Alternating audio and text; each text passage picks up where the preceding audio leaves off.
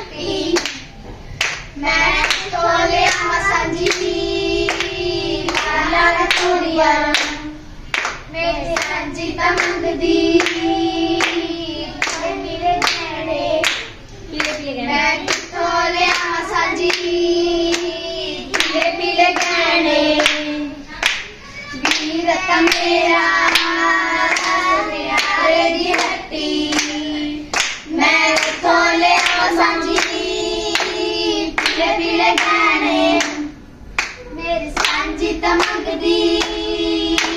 ਹਰਾ ਹਰਾ ਮੈਂ ਕਿੱਥੋਂ ਲਿਆਵਾਂ ਸਾਂਝੀ। ਹਰਾ ਹਰਾ ਗੋਬਰ ਵੀਰ ਤਾਂ ਮੇਰਾ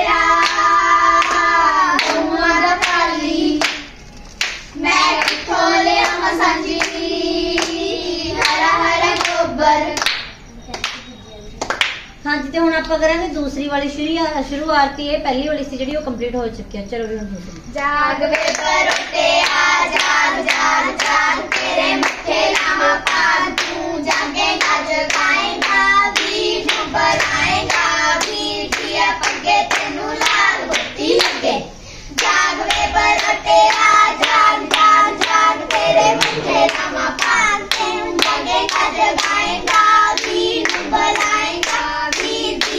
ਕੀ ਪੱਗੇ ਤੈਨੂੰ ਲਾਲ ਬੱਤੀ ਲੱਗੇ ਜਾਗ ਵੇ ਬਰੋਟੇ ਆ ਜਾਗ ਜਾਗ ਜਾਗ ਤੇਰੇ ਮੱਥੇ ਲਾਵਾ ਭਾਗ ਤੂੰ ਜਾਗੇਗਾ ਜਗਾਏਗਾ ਵੀਰ ਨੂੰ ਬੁਲਾਏਗਾ ਵੀਰ ਦੀਏ ਪੱਗੇ ਤੈਨੂੰ ਲਾਲ ਮੱਤੀ ਲੱਗੇ ਜਾਗ ਵੇ ਬਰੋਟੇ ਆ ਜਾਗ ਜਾਗ ਜਾਗ ਤੇਰੇ ਮੱਥੇ ਲਾਵਾ ਭਾਗ ਤੂੰ ਜਾਗੇਗਾ ਜਗਾਏਗਾ ਵੀਰ ਨੂੰ ਬੁਲਾਏਗਾ ਵੀਰ ਦੀਏ ਪੱਗੇ ਤੈਨੂੰ ਲਾਲ ਮੱਤੀ ਲੱਗੇ ਜਾਗ ਵੇ ਬਰੋਟੇ ਆ ਜਾਗ ਜਾਗ ਜਾਗ ਤੇਰੇ ਮੱਥੇ ਲਾਵਾਂ ਭਾਗ ਤੂੰ ਜਾਗੇਗਾ ਜਗਾਏਗਾ ਵੀਰ ਨੂੰ ਬਣਾਏਗਾ ਵੀਰ ਦੇ ਅੱਗੇ ਤੈਨੂੰ ਲਾਲ ਮੱਛੀ ਲੱਗੇ। ਇੱਕ ਐਵੇਂ ਵੀ ਹੁੰਦਾ ਗਾ ਹਨਾ ਮੇਰੇ ਟਾਈਮ ਐਵੇਂ ਹੁੰਦਾ ਸੀਗਾ, ਜਾਗ ਵੇ ਬਰੋਟੇ ਜਾਗ ਜਾਗ ਜਾਗ ਤੇਰੇ ਮੱਥੇ ਲੱਗੇ ਭਾਗ, ਤੈਨੂੰ ਟਿੱਕੀ ਦਾ ਚਰਾਗ, ਰੋਟੀ ਖਾ ਲਾ ਬਰੋਟੇ ਆ।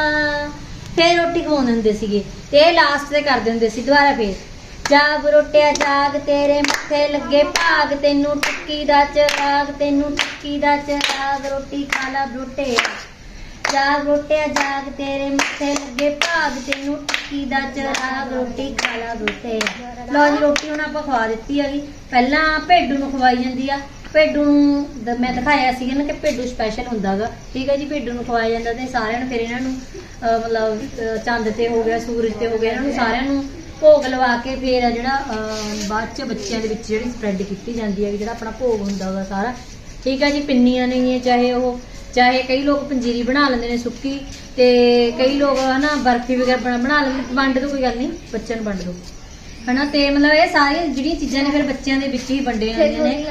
ਵੈਸੇ ਵੀ ਆਪਾਂ ਜਿਹੜੀਆਂ ਚੀਜ਼ਾਂ ਨੇਗੀਆਂ ਅਹ ਕੋਈ ਵੀ ਦਾਨ ਪੁੰਨਾ ਜਦ ਤੱਕ ਆਪਾਂ ਸਾਰਿਆਂ ਦੇ ਵਿੱਚ ਵੰਡ ਕੇ ਨਹੀਂ ਖਾਂਦੇ ਹੈਗੇ ਸ੍ਰੀ ਗੁਰੂ ਨਾਨਕ ਦੇਵ ਜੀ ਨੇ ਕਿਹਾ ਕਿ ਵੰਡ ਕੇ ਛਕੋ ਹਨਾ?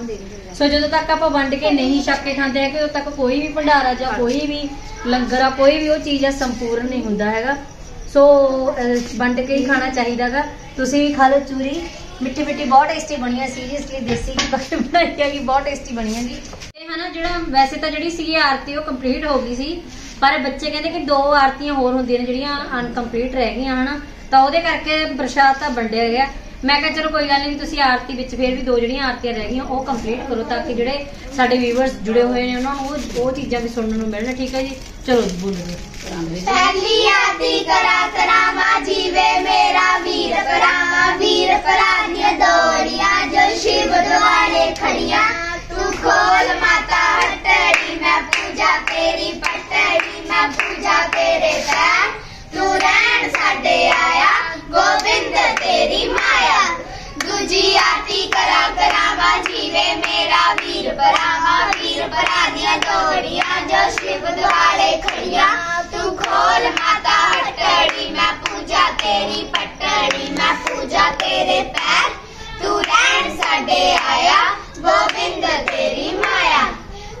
ਤੀਜੀ ਆਰਤੀ ਕਰਾ ਕਰਾਵਾ ਜੀਵੇ ਮੇਰਾ ਵੀਰ ਭਰਾਵਾ ਵੀਰ ਭਰਾ ਦੀਆਂ ਦੋੜੀਆਂ